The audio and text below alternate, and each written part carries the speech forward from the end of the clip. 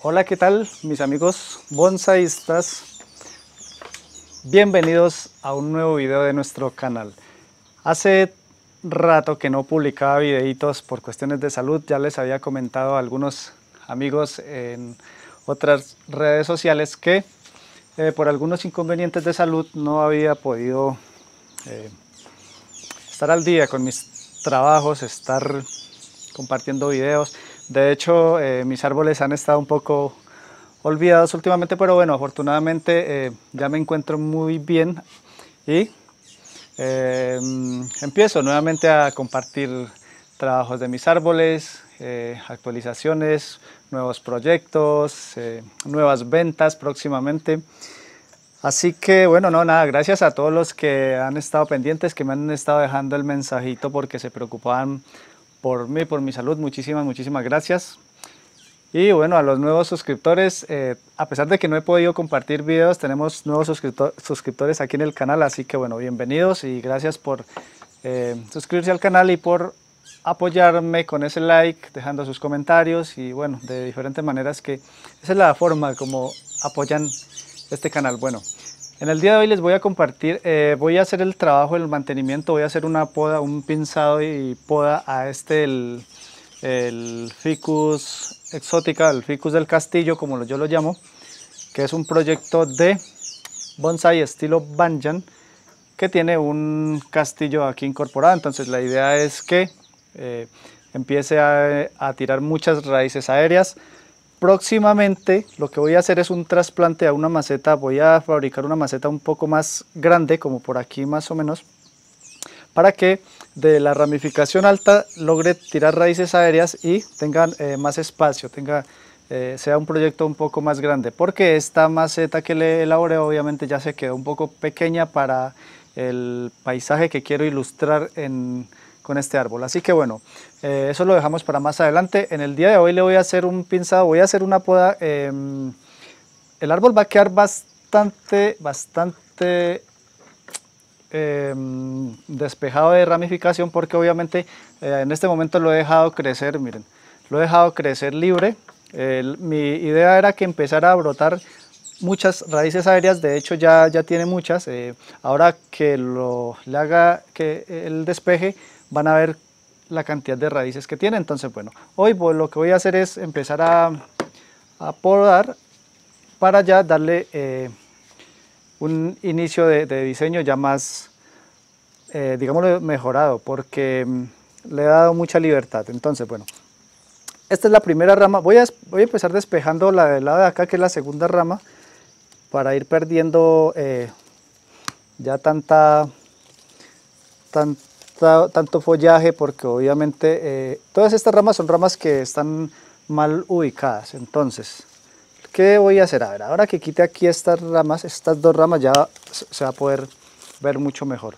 Voy a cortar todas las ramas que estén mal ubicadas, por ejemplo, ramas que crecen directamente hacia arriba, como por ejemplo aquí tenemos esta que crece directamente hacia arriba y justo en la base de la segunda rama, entonces esa no nos sirve. Entonces aquí vamos despejando poco a poco. Esta también crece por el lado de arriba, esa no nos sirve.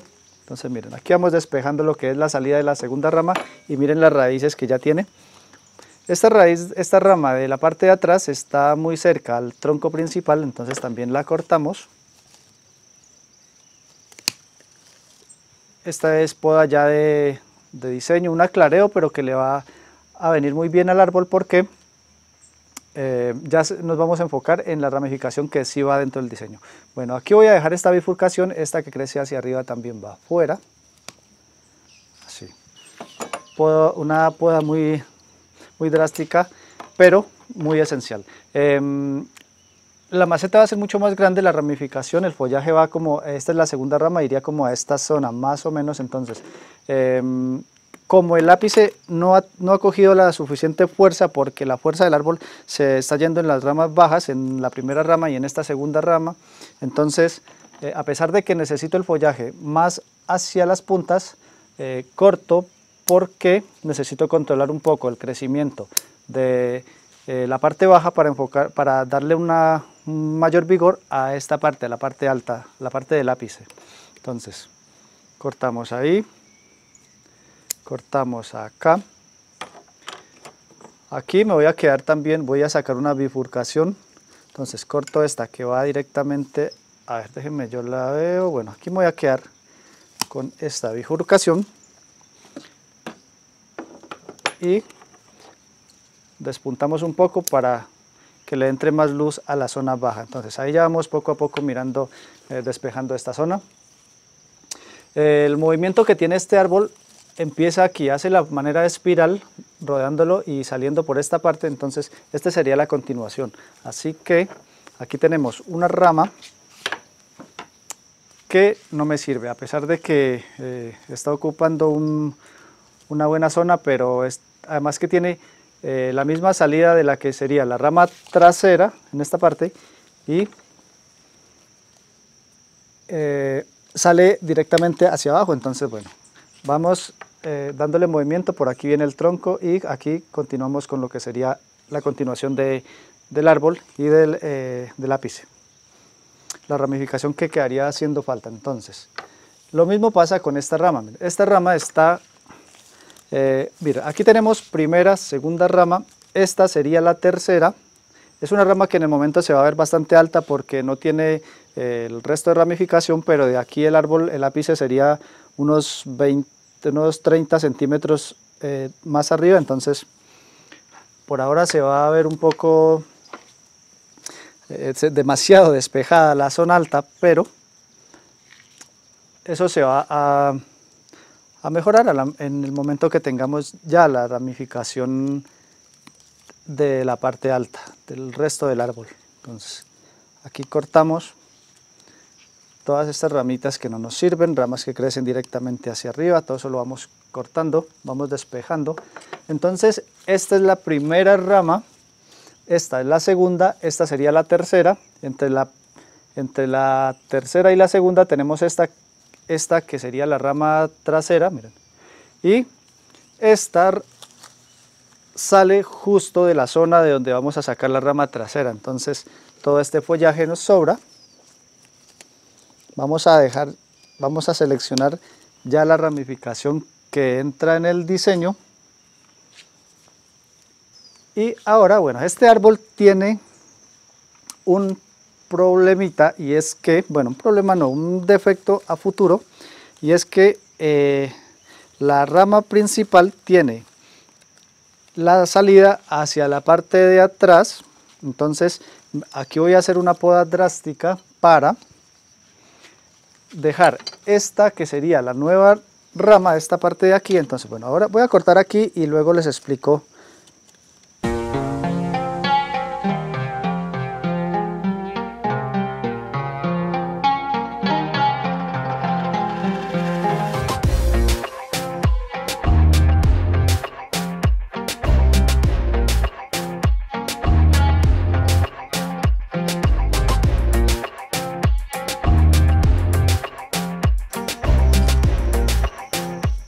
Esto lo voy a esquejar porque tiene una, rama, miren, una rama bastante fuerte. De hecho, aquí ya vemos un arbolito. Entonces vamos a dejarla aquí en la zona baja y ahora lo, lo, lo, lo, esquejo. Bien, entonces miren, esto es lo que yo les decía. Esta primera rama aquí ya tiene la salida. Obviamente este es el frente, entonces la salida ya sería hacia la parte de allá.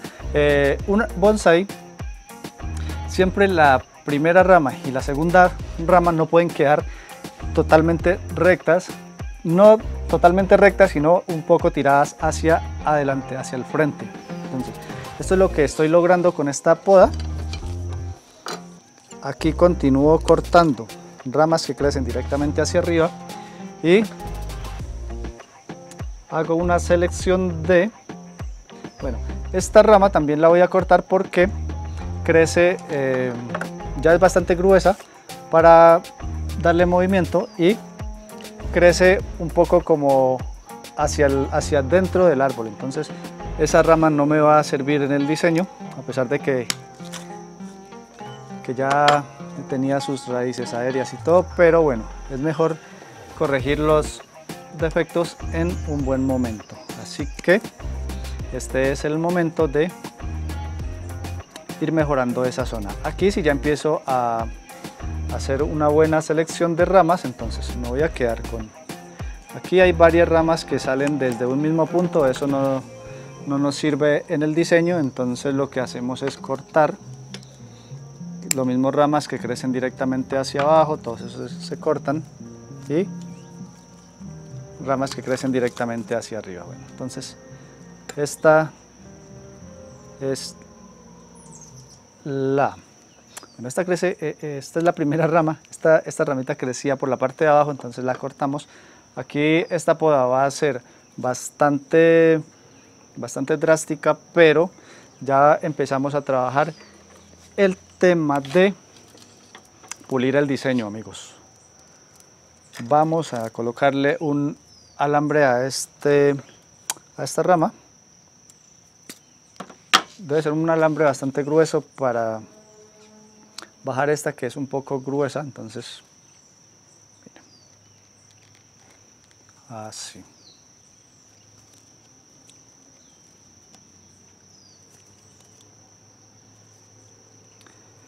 Este árbol ya tiene bastantes raíces que van bajando por la parte del castillo, así que se va a ver bastante bonito cuando tengamos la, ramificación ya bastante establecida, la, la parte alta y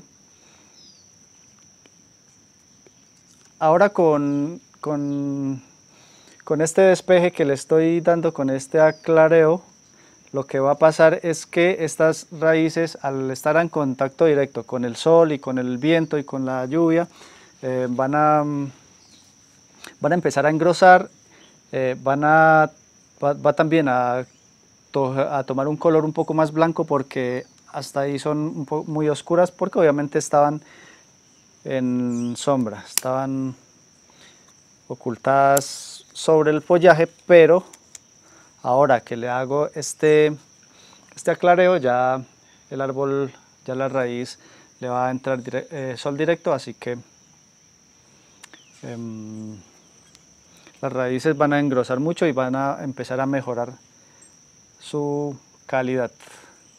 Bueno, aquí tenemos esta que esta sería la parte trasera. A ver. No, esta la podemos mover un poco. Me hago de esta parte de atrás. Vamos a cortar aquí. Tiene un, un, alambre que lo utilicé en su momento para, para bajar esta rama. Y,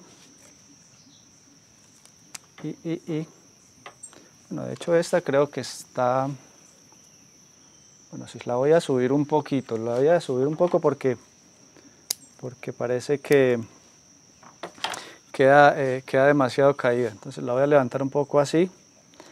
Eso sí, voy a tener que cortar también porque estas ramas están bastante largas. Entonces las cortamos, le coloco un alambre más delgado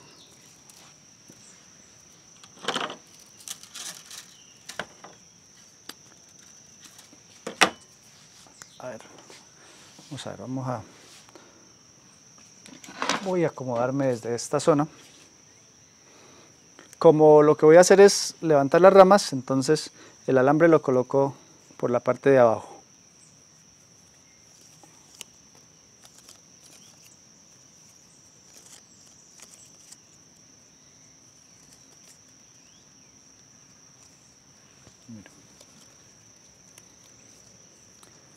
Miren cómo solamente con colocar el alambre prácticamente cae en, su punto.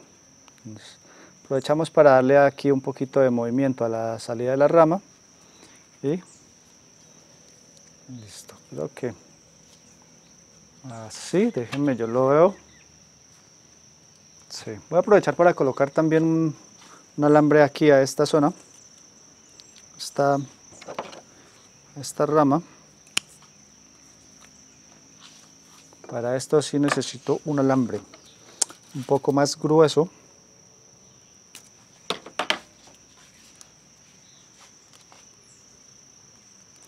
A ver, déjenme, yo veo, bueno, vamos a hacer, si esa está, esa salida me gusta.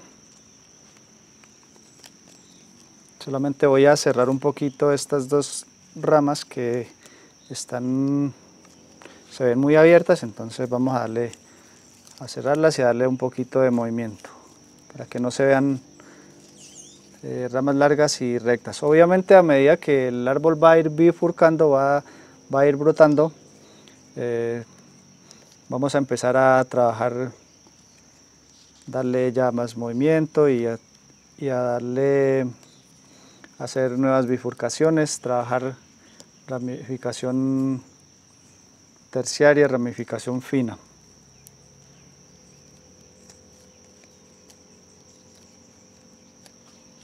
Bueno, creo que así está bien.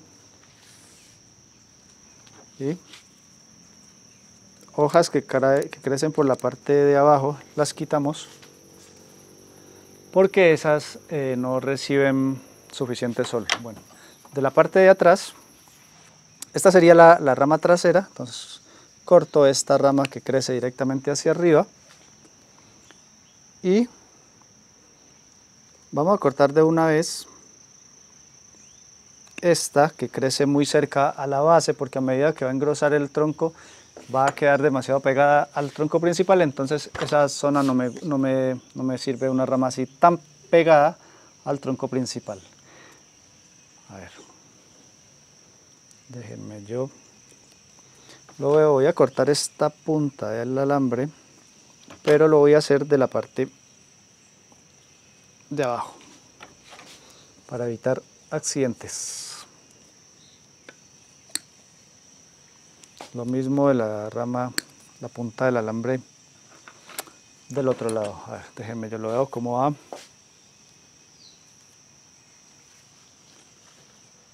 Sí, creo que, creo que, creo que esto era lo que quería hacer con el árbol el día de hoy. Las plantas que acompañan el diseño, el este paisaje que son estas dos, eh, son cerizas, entonces eh, como ven está en plena floración, son planticas que también se trabajan, bueno al menos por medio de, de pinzado. Entonces aquí les damos algo de diseño. Estas plantas eh, las voy a tener aquí hasta que ya el árbol esté muy frondoso en esta zona y en la parte alta, entonces ya al no entrarle luz, estas plantas se van a perder, entonces eh, las voy a retirar, pero por el momento las disfruto, las tengo aquí y lo que hago es darle un poco de, de diseño por medio de pinzado. cortamos esas ramas que van ya muy fuertes y hecho esta la voy a quitar.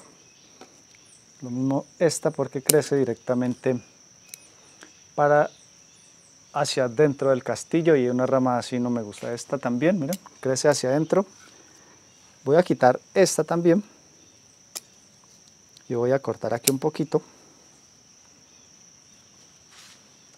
Y prácticamente eso sería todo. Bueno, acá no voy a tocar estas dos ramas porque Em, necesito fortalecer muchísimo la parte alta para que brote fuerte y seguir eh, el diseño. En este momento entonces nos quedamos con primera rama, rama segunda. Entre la primera y la segunda tenemos la rama trasera, miren que como estaba opacada por mucha sombra, eh, tenía mucha fuerza la parte, la segunda rama y esta primera, entonces esta ha crecido muy poco, pero ahora que tiene mucha luz, va a empezar a brotar muy fuerte y a engrosar mucho esta zona porque esta rama se está quedando muy delgada entonces.